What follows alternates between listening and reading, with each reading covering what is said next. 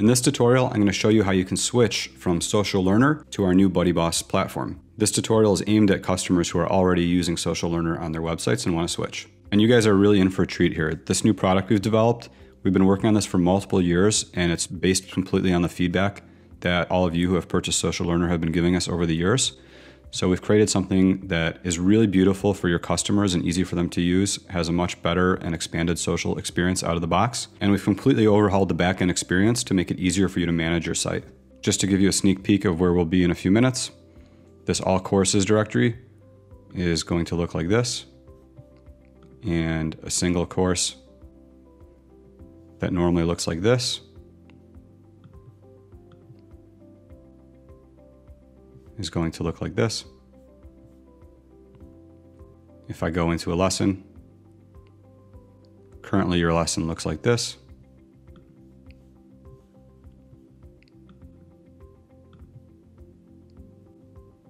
And in a moment, it's going to look like this with full screen mode and dark mode and all kinds of cool stuff. And then one more thing, I'm gonna go into my inbox, which currently looks like this. And instead you'll have this nice inbox dropdown and, and your inbox is about to look like this. Super modern, really nice inbox. Even in mobile mode, it looks awesome. So with that, let's get started. Okay, so what I did for this setup is I took our public demo and used our one-click installer and made a clone of it. The setup I'm about to convert is an exact replica of what's in our demo, what you guys start with. And if I go to plugins, I've also added some extra plugins that don't come with our demo, but that we have sold in the past and maybe you guys are using. For example, BuddyBoss Media, BuddyBoss Wall, BuddyPress member types. I'm gonna go through all of this, how we can convert all this to the new BuddyBoss platform. And it's gonna take a little bit of work, but it's not too hard. In about 10 minutes, we're gonna be there. And what you're about to see is that the amount of plugins we have installed here is about to be reduced pretty dramatically. Now, before I actually start going through the steps, one big word of warning is that if you have a live website, you really need to take a backup before proceeding with these next steps. We're about to make some major changes to your website, to the plugin stack, and just to be totally safe, you really wanna have a backup. All right, so to get started, the first thing we're gonna do is just disable a bunch of plugins we no longer need. So bbPress we don't need anymore, Boss for LearnDash we don't need, BuddyPress Profile Search if you're using that you don't need, BuddyPress remove profile links if you're using that, don't need. BuddyBoss Media, you don't need. BuddyBoss one-click installer, no longer needed. BuddyBoss Products Updater, no longer needed. BuddyBoss Wall, don't need it. BuddyPress, don't need it. BuddyPress for LearnDash, don't need it. BuddyPress Global Search, don't need that. BuddyPress member types, if you're using it, you don't need that. And if you're using the user switching plugin to switch back and forth between users for testing, don't need that anymore either. So I'm gonna go ahead and deactivate all of these plugins. And then if you get this error at the top, you can ignore it. This is gonna go away in just a moment. So you might be wondering at this point, how and why are we removing more than half the plugins here? And the reason is that we've actually taken over BuddyPress and modified it, and we call our version of BuddyPress the BuddyBoss platform. It's much easier to use, much more expanded in terms of its default functionality, and it's really tailored for you guys based on the feedback you've given us over the years. And because we own the plugin now, we can do whatever we want and we no longer need all these peripheral plugins. The reason all these plugins exist is because BuddyPress itself is an open source project that we never owned. And while we're involved in the BuddyPress community, we have fairly limited influence on what features they add and what decisions they make. And so in order to give you guys the functionality that you ask for, we've had to make all these peripheral plugins that kind of extend BuddyPress. So actually what you're about to see is that the whole product stack now from us is just one plugin and one theme. And then of course you might need to add LearnDash and WooCommerce and other big third-party plugins, but the BuddyBoss product stack is now just two files. And if you have any concern about switching from an open source project like BuddyPress to a proprietary project like BuddyBoss Platform, no need to worry. BuddyBoss Platform itself is open source too, and our intent actually is to give it away for free and grow it, and for it to be popular in its own right. This is our way of giving back to the BuddyPress community. We've made our own variant of BuddyPress that is a lot more feature rich and easier to use. And we're giving it away. Anyone can use it. Anyone can build their own themes on it. And it's a fully free open source project. So we've deactivated all those plugins. We're going to now add our BuddyBoss platform. In the plugins area, we click add new and click upload plugin. And when you purchase the new product from us, you should have been given this zip file. buddyboss So we're gonna add that. This zip file, this plugin, is the replacement for BuddyPress. So then we will activate the plugin. And then we get this pop-up welcoming us to the new plugin and telling us some of the features. And we see this new error message. Don't worry about that. That's gonna go away in a little bit. So let's go to Appearance Themes. And of course we need to switch the theme. So we're gonna click Add New. Upload. And when you purchase the new product from us, you should have gotten buddybosstheme.zip. That's the theme. So you're going to click that and install and activate. And I would recommend adding one more thing, which is our child theme. So I said our product is just two files, the theme and the plugin. That's true. There's a third file, the child theme, which I'd also recommend if you plan on doing any custom development. And that's the case for any theming in WordPress, including the social learner way. You want to make any edits in your child theme, not in the main theme. That way, when we release updates to the main theme, you don't lose them. So let's go ahead and add the child theme too. And you should have gotten a zip file, buddybossthemechild.zip. That's the one. And we'll install the child theme. And then we can activate it. And just like that, we've already made some progress. Let's check out the front end. Already our members directory is starting to look like the new way. Our groups directory is updated. If I go to our demo course, it's looking okay also. However, if we come to our all courses page, you'll notice that this isn't looking right. If I edit the page, you'll see it's just running LearnDash's shortcode. So we don't really need this page because LearnDash already gives us this URL. So if I come back here, I can actually trash that page. And then I could go to appearance menus. And then we can just add this as a custom link.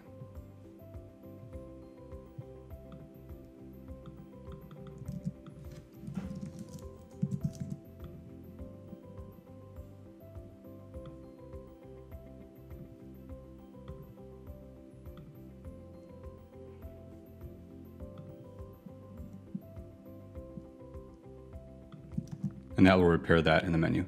Of course, you can name that link all courses, whatever you want in here. So there are still some more steps, but as you can see, we're already making progress. Let's resolve all of these errors. So the first one, BuddyBoss theme requires LearnDash 3 template. However, you, you are using legacy. Repair. So you may or may not have already upgraded LearnDash to LearnDash 3.0, which came out recently. If you haven't, you're gonna wanna do that because our new BuddyBoss theme requires LearnDash 3 to work. It's very easy to switch from LearnDash 2 to 3. All the data ports all you have to do is go update it. And if you've already made that update and you were using Social Learner, you have to use the legacy LearnDash 3 template in Social Learner, but in our new theme, we support their new template. So let's click repair. And if you're using LearnDash 3, you'll know it because the UI will look different like this. In the active template, we're going to switch to LearnDash 3 and click save. Just like that, all our courses should look proper now. Let's go back to the back end. Next error, this license for BuddyBoss theme is invalid or incomplete. Please click here and update your license. We're gonna go to our license manager and add a license key for a BuddyBoss theme. It's very important that you do this because the BuddyBoss platform and the BuddyBoss theme are designed to fit together like a glove. And as we update the BuddyBoss platform with new features, we're always going to be updating the theme to style those new features so everything works great. So you want your license key so you have access to updates. And also if you want to interact with our customer support, you need a valid license key. When you purchase the product, you got an email with a license key.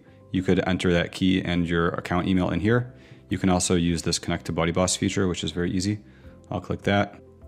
If you're not already logged into buddyboss.com, it will ask you to, and then just click allow.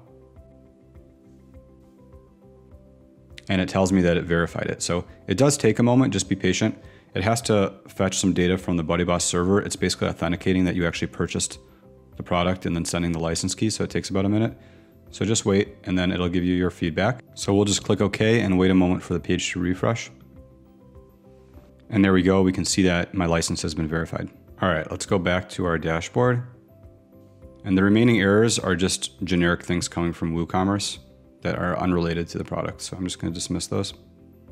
All right, so now we have to re-enable a bunch of things that have changed. So let's go into BuddyBoss And now you can see that all the menus are included in this area. There are no menus related to our functionality outside of this. So you might recall that we disabled BBPress. BBPress is what was powering your forum software before. Same story as BuddyPress. It's an open source project. They haven't made any major updates to it in years, and it's really lacking in terms of how a forum should look and behave. So we forked BBPress and merged it into the platform and made it a native component. So now to get your forums back, you will just click activate for forum discussions.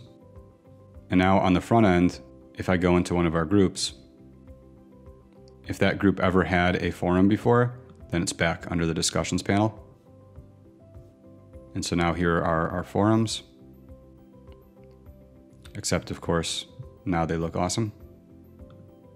One very important note is the URL. In BBPress, they call each forum thread a topic, which I always found to be confusing, so do most customers. So we've renamed that default to be discussions. So each forum has a discussion and a reply. As a consequence, when you first enable platform, the URL is going to be set to discussions. However, if you are coming from Social Learner, it's very likely, almost definitely, that you had this set to say topics. And if this is a public site, that means your URLs are going to be different now, and that's going to affect your SEO big time. So you might want to switch this back to topic. Discussions is nice in the URL for a new site, but for someone existing, you don't want to mess up your SEO. That's very easy. We come back here, go to settings, and we can see all our active components. If they have settings, they're all easy to find in here. So we'll click on forums. And right here, we can change the slugs. So discussion is going to be a topic, discussion tag, topic tag. These are the only ones you need to change to go back to the defaults. So let's save that. After making a change like this, it's very important that you go to settings permalinks and just resave this. Otherwise the change might not take effect. And then if I go back to the front end, let me just go back to the root forum. If I click one of these, we can see the URL has switched back to topic. This is the default that Social Learner and BBPress had before. So if that's what you were using before, you want to switch that to maintain your SEO. All right, moving on, we're going to enable media. So this is only relevant if you were using BuddyBoss Media previously. Well, you might want media either way, but this is relevant in terms of migrating the data from your old media. So let's go to BuddyBoss components. And you no longer need that BuddyBoss media plugin. We have media included, so we can activate that. And this new media component is stunning. I think you're really gonna love it. We've improved everything. But before we can get started, you see we have a warning. We have found some media uploaded from the BuddyBoss media plugin, which is not compatible with BuddyBoss platform. You should import the media into BuddyBoss platform first. So we need to do a migration. We'll just click run migration and let it do its thing. So that's it, it's done. These are the images and albums that existed in our demo. It's not that many. If you have thousands of images, of course, this will take longer. And now we can go to settings, media. And you see we have options for turning on and off photos and albums in profiles and groups. We can add photos into messages and forums. We also have introduced support for emoji and animated GIFs. You can play with all this on our demo. Well, let's quickly go check and see if our media really was imported. So first let's refresh the page. And now I have my photos link back. And here are all my photos in a really nice view. I can paginate through them. And I can go into albums. And my albums were imported. So let's click one. And the photos from that album were imported as well. So as we can see that worked and our media is restored. So let's keep going. If we come back to plugins, we have this plugin BuddyPress Global Search, which we're no longer using. So let's set up the replacement for that. We can go to BuddyBoss components and then enable what we're calling network search. This is basically the same thing as BuddyPress Global Search. We merged it in and improved it quite a bit. So if we go to settings, we can click on search. And you're starting to see the theme here that the whole interface is all unified now, both in the backend and the front end. And then we have all of our search options, which are basically the same as what you're used to from global search. So let me just turn on some stuff so that we actually get some results. And then I can search for John. I get my drop down results and click view all. And here's our results. You can see all the results here, including courses, everything. And you can also drill down. So I'll drill down into members. And we've got John. And there you go. So now search is back. Okay, so there are a bunch of other small things I want to go through. And then I want to talk about courses and groups and how courses connect to groups because it works differently in this product than in Social Learner. It's way more flexible now, but it requires that you change some things and learn some new paradigms. So make sure to keep watching till the end so you see that part. All right, I'm gonna quickly do some cleanup. So let's go to Appearance Themes. We don't need Boss Theme anymore. I'm gonna delete that. Now, the child theme, you might wanna keep around for now. If you've ever done any custom development in your child theme, then that custom development is going to have to be ported into the new child theme. That's its own kind of larger topic. I'm gonna get to that at the end of the video. All right, let's remove plugins we don't need anymore. All right, so bbPress can go. We already know about that. Boss for LearnDash, that's just theme related. There's no need for this anymore. BuddyPress remove profile links. That's a very old thing related to BuddyPress. Don't need that anymore. Media, we've already ported. We don't need that. One-click installer, I'll come back to this and explain, but we don't need that anymore. Product updater, we don't even need that because the theme has its own license key system built into it that can check for everything. The wall, we don't need that anymore. Um, BuddyPress, we don't need anymore. BuddyPress for LearnDash, we don't need anymore. Global search, we don't need anymore. So let's delete all of those. This one we can turn back on. When we disabled BuddyPress, it immediately disabled. There are plugins out there in the world that hook into BuddyPress and will only activate if they see that BuddyPress is there. This is one of them. BuddyBoss platform is designed to be backwards compatible with BuddyPress, and we've even gone as far as to trick these kinds of plugins into thinking BuddyPress is running, so they still work. So let's activate it. And it's back, it's gonna work fine. And then we have about four plugins here left to delete. First, let me just show you their parallel features and then we'll delete them. So profile search is what adds a search form to your members directory.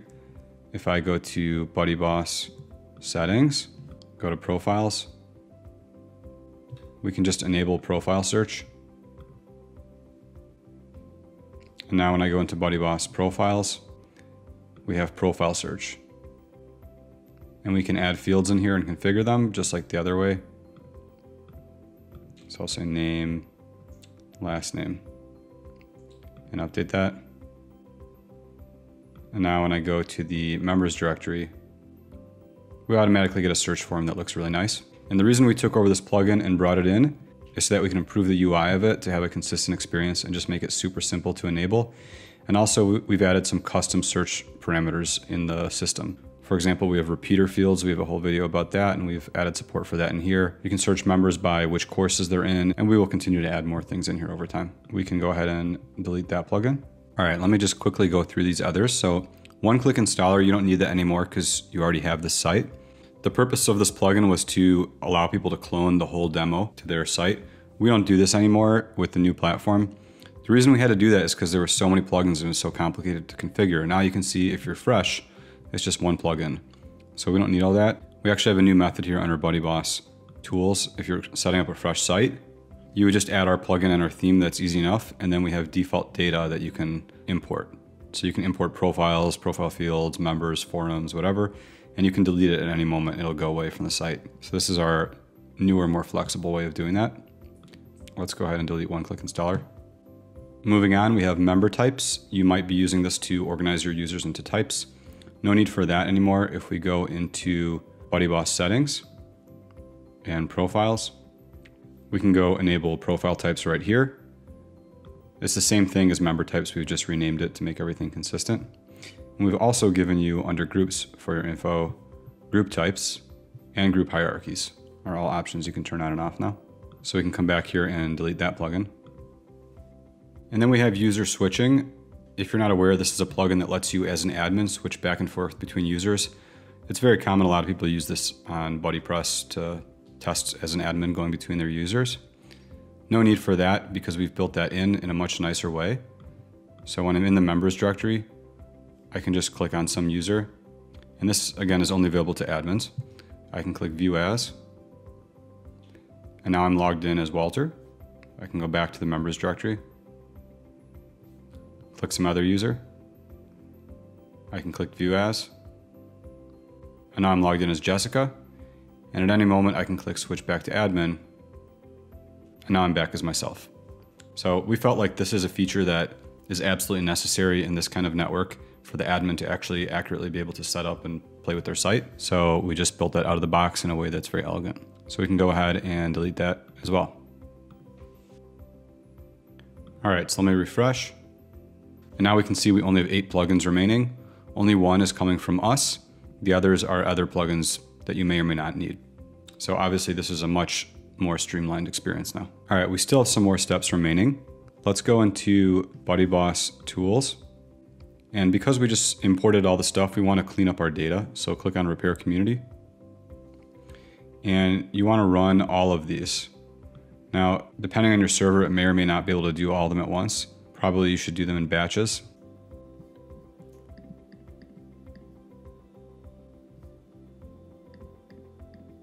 And make sure to do this with the emails. It's basically the same like BuddyPress, but the emails look much nicer and the text has changed. So you want to reinstall the emails. And if we go to repair forums, you're going to want to run all of these also.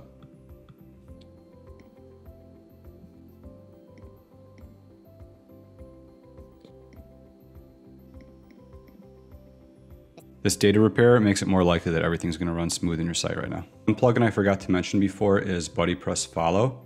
If you have follow functionality on your site, then you're probably using this plugin. Very old, hasn't been updated in three years. That's the story for a lot of BuddyPress plugins out there. Anything that should be part of a social network out of the box, we want to include in there for you. So we have this already built in. You can delete this plugin. Any data you had in here will port. In here, you can go into settings, activity. And you can see that follow and likes are both just options now. You can turn on and off. All right, let's look at our inbox. So we can see that our whole inbox was ported in. One thing to note is that it works slightly differently in BuddyPress. The inbox worked like Gmail where you would compose a message and it would have a subject and content. In the new platform, it's a much more streamlined messenger like Facebook Messenger or LinkedIn Messenger. You just have a never-ending thread with each user. So this creates a much simpler and more elegant messaging system. And in the future, it's going to allow us to do things like have perhaps a live chat thing here uh, that pops up or have messaging in our mobile apps. You can't really do that with an email style interface. You need it to be a single threaded interface like this. But all your existing messages should port into here. coming back to our plugins, what are these other ones for? Badge OS is for gamification. That still works fine. There's also GamiPress, which is really popular. You can use either one. They work fine. LearnDash and LearnDash Pro Panel are obviously for your courses. WooCommerce is optional if you want to sell content through that and you can connect it to LearnDash with this integration. That's how we had Social Learner set up. That's up to you if you're using that or not. If you're not, don't worry about it. Coming here on the front end, we can see that WooCommerce is styled really beautifully in our theme. I'll click add to cart. And just like that, we've got a little cart drop down. I can click checkout. And the whole WooCommerce experience is really amazing. So we got you covered there. And last, we have WP Bakery Page Builder, also known as Visual Composer. So that's what's putting this layout on the homepage that is from our demo. So you can see it looks okay, but not perfect. We haven't really put a lot of work into supporting this specific plugin. This was added in our social learner a long time ago because at the time this was popular, but nowadays it's pretty dated. Most customers we find are using either Gutenberg, Elementor, or Cornerstone as their page builders and we put a lot of work into supporting those. So those will look really awesome. Given that most of our customers are using that, it's very likely you're using one of those to build your pages. If you've been doing it through this plugin, then you may or may not need some tweaking on these pages, or you might want to switch to a newer, more modern page builder. All right, so I'm going to move on to the final part of this tutorial, which is showing you how to connect courses with groups. So coming back here to the public demo, if I go to a demo course, we can see that it's one course connected into one group. That's what you're used to if you've been using Social Learner. We've gotten feedback from so many clients that this is just not flexible enough for them. People want to be able to connect the same course to multiple groups, and they also want to be able to have a bunch of courses in a single group. They want to be able to just mix and match this stuff, and so now we've made that possible. Now, we know that a lot of you are using LearnDash groups already. If you're not, then you're going to want to switch to that and learn how that works. So if we go into LearnDash, we can click on groups. And from here, we can create a group. This is different from the social group or BuddyPress group that you're used to on the front end. This is a way in the LearnDash backend to organize instructors and students and courses together into like cohorts or classrooms. And this will be the basis of what we're doing. To explain it further, on the front end, we have groups. And in your old social learner, when you opened up a group, you'd have a course tab. You can see that's gone now. Your course is no longer connected. So this is one little bit of this transition that's going to require some manual labor from you to reconnect everything, just because it's done in a totally different way now. So before I do this, we need to go into BuddyBoss settings. And we can click on integrations. And you can see that we have, if LearnDash is enabled, LearnDash integrations. So from here we can connect and sync LearnDash groups with our social groups. So I'm gonna check that. And you can also sync in the reverse, but this only really happens on creation. So we're going to kind of have to retroactively recreate this. You can turn on your options. Basically what this is gonna do is sync all the LearnDash group content into your social group, including the members. So let's save that. And then we're gonna come back to our LearnDash groups and click add new. And so I'm gonna create a group that's gonna connect to world history. In Social Learner, you would create a course to connect. And here you create a group, which is kind of a higher level that can contain courses.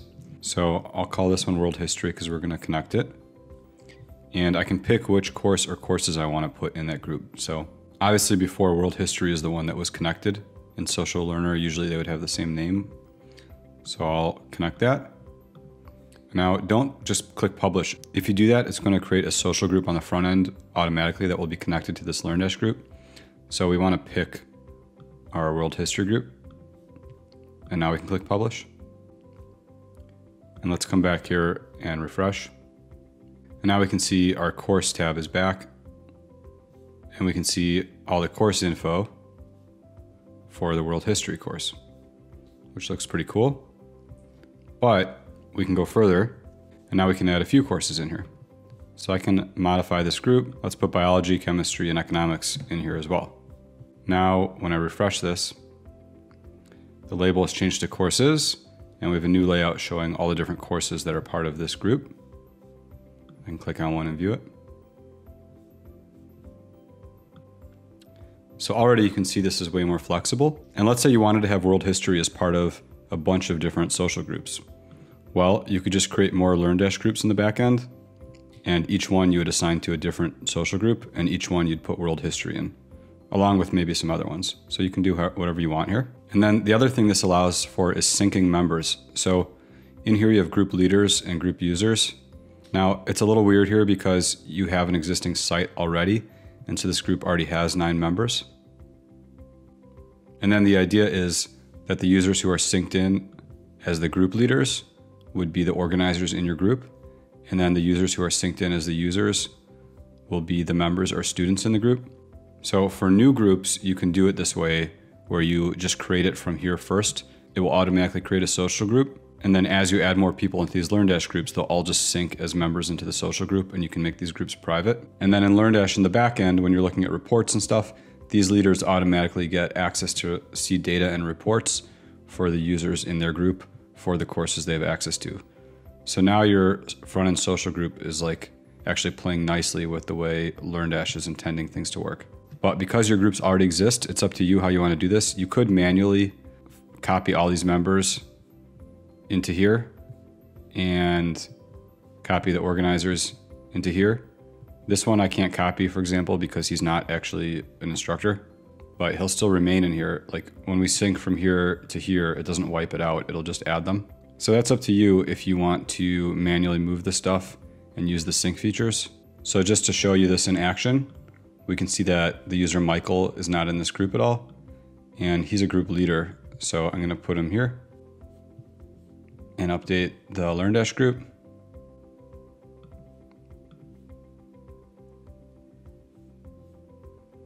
and now he's one of the organizers. So that's the intention of how this is going to work. But given you already have all this data, if you don't want to use this stuff, you don't have to sync those. You can just use this to, to connect your courses. It's really up to you what you want to do here. So that's basically everything excluding custom development, which I'll get to in a moment. And this whole tutorial has taken about 30 minutes thus far, which may seem like a long time, but at the same time, we've just removed about 10 plugins and switched from BuddyPress and BBPress to a whole new core platform and switched your theme and reconfigured everything in that time. So if you need any help doing this, feel free to contact our team. And we are offering a done for you solution where you can pay us and we'll migrate and reconfigure everything for you. You don't really have to do anything.